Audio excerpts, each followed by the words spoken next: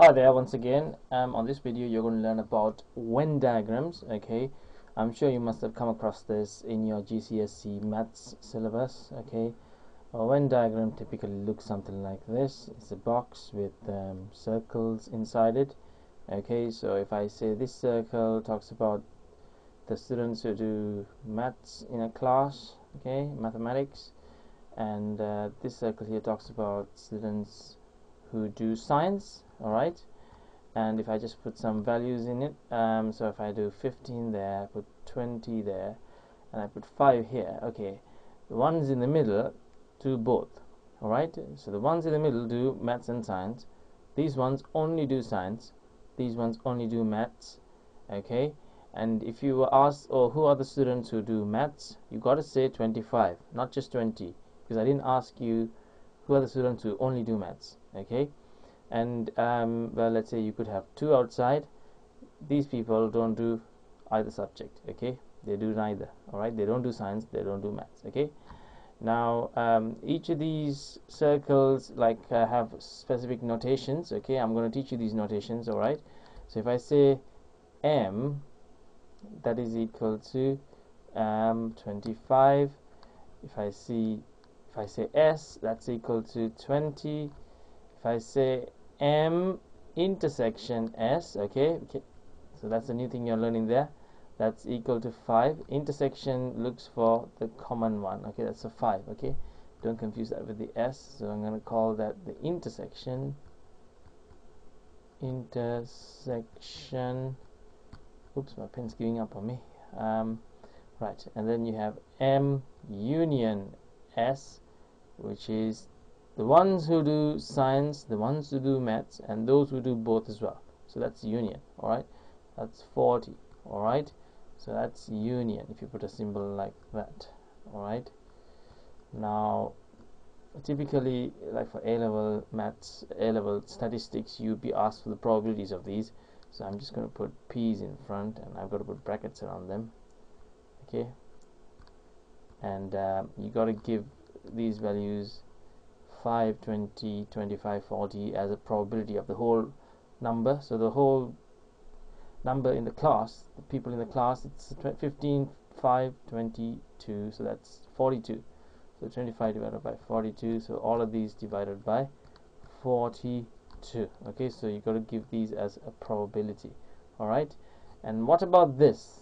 Okay now that has a funny notation. I'll, I'll teach you how to do that in a minute but um, it's this okay? Um, so I'll teach you how to work that out in a minute okay? So that's that okay? So that's 2 okay? These dashes here stand for not M and not S. So the students who do who don't do maths and they should be also the students who don't do science. So the students who don't do maths and they should not also do science. So it's 2 okay? So if I asked you this. If I asked you so that should that's the probability so I should have written 2 by 42 if I ask you the probability of students who don't do maths it's everyone other than those who are in the maths circle. This one here sorry. So that's 15 and 2 this 5 is not included because even though they do science they still do maths so they can't include them in the probability. Because I'm asking for those who don't do maths. So that's 5 and 15 and 2 17 by 42 okay so what would I have to write to denote this number here, this probability here, 15? The students who only do science, I would have to write something like this. Probability of those who don't do maths and the probability of those who do science okay the probability so those who don't do maths okay is the 5 the 15 sorry 5 um, uh, well that's not included because they do maths okay? So it's just the 15 and the 2 so those who don't do maths is the 15 and the 2 so intersection is an area that is common to this and this.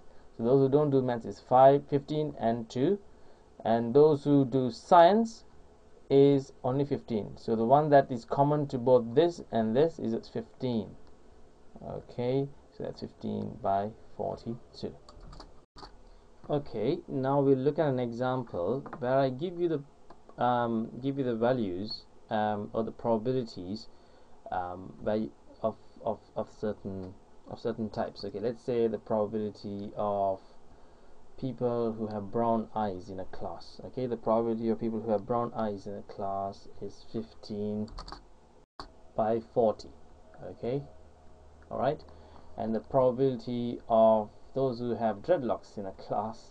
Um, that's 13 by 40 and the probability of those who have dreadlocks and have brown eyes in a class sorry that's the wrong symbol. That's equal to 3 by 40 okay? All right. Um, right. Now how would you put this in a probability um, sorry not in a probability tree on a Venn diagram okay? Um, so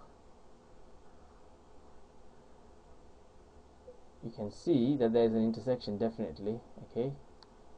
Alright.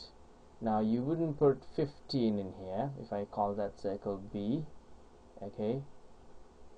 Um, I want to put the probability so I've got to put the property. So 15 by 40 I wouldn't put 15 by 40 in here I would first put my intersection value which is 13 by 40 oops not enough space. Okay that's 13 by 40 um, and then I would subtract that from this B value here. And then I'd put that there like that okay? Because this whole circle should have probability of 15 by 40 so that's those two add up to make 15 by 40 alright? Now this circle here that tells you the probability of a student having dreadlocks. So that's 3 by 40 already is part of this circle so I got to subtract that from that. So that leaves me with 10 by 40 okay? The rest okay what's the probability of the rest? Probability of the rest is basically you having to add up all of these and taking it away from 1 okay? Because the probability all the the probabilities of all the outcomes added for an event should equal to 1 so this should be all of these added taken away from 1 so 1 minus 12 by 40 minus 3 by 40 minus 10 by 40 so that's equal to 15 by 40 so those who don't have dreadlocks plus don't have brown eyes that's the probability of that. Alright okay? So if I were to write out the notation for it it'll be P not B intersection not D. Okay? Now we are going to look at something called conditional probability with conditional probability basically what you do is this okay? You say um, okay so you put all the all the students who do science into one room and you ask what's the probability of you picking out a student who does math out of that all right? So all the students who do science okay you put them into one class so that's 20 students. And what's the probability of you picking out someone who does math okay? That's just this isn't it? The students who do maths and science okay?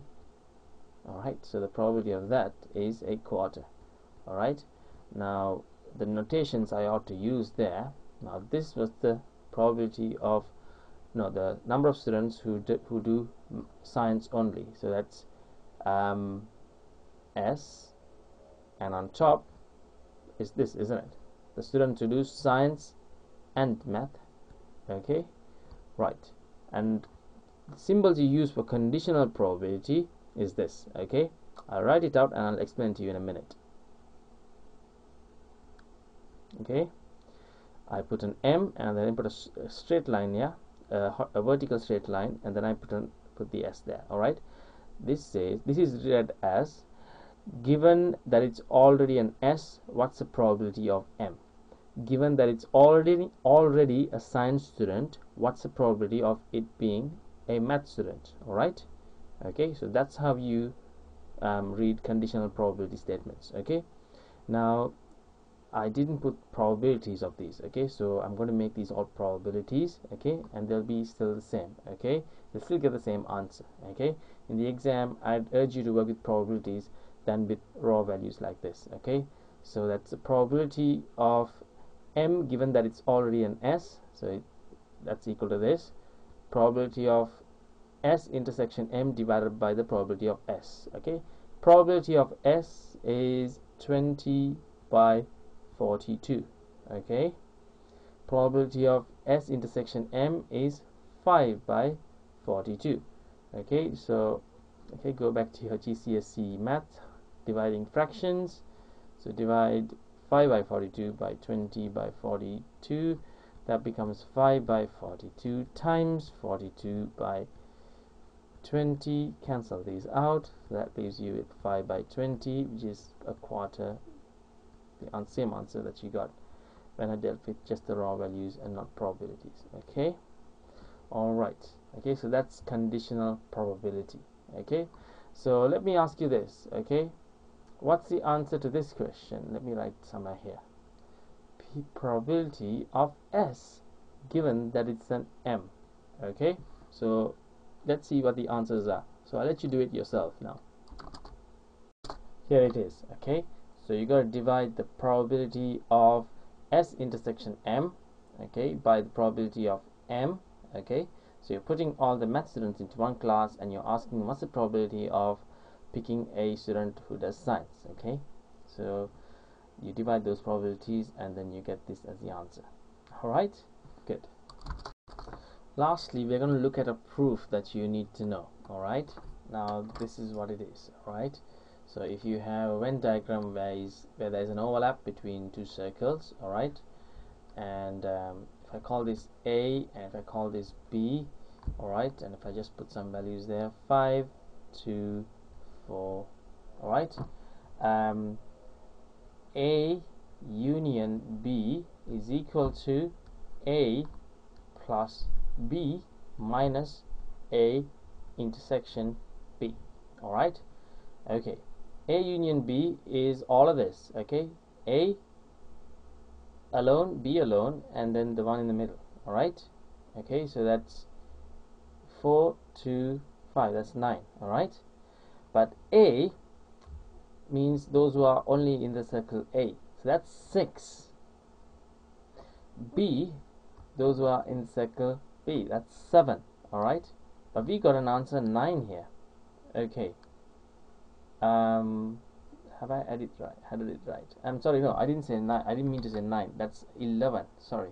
If you add all of these up you get 11 um, my apologies okay so you get 11 so A union B is 11 2 4 5 that's 11 but if you add the circles by themselves A plus B you get 13 okay so you got to take away the intersection which is 2 now it's fine alright because when you just do A plus B the intersections added twice okay? So you got to take away an intersection alright so this proof you'll have to remember.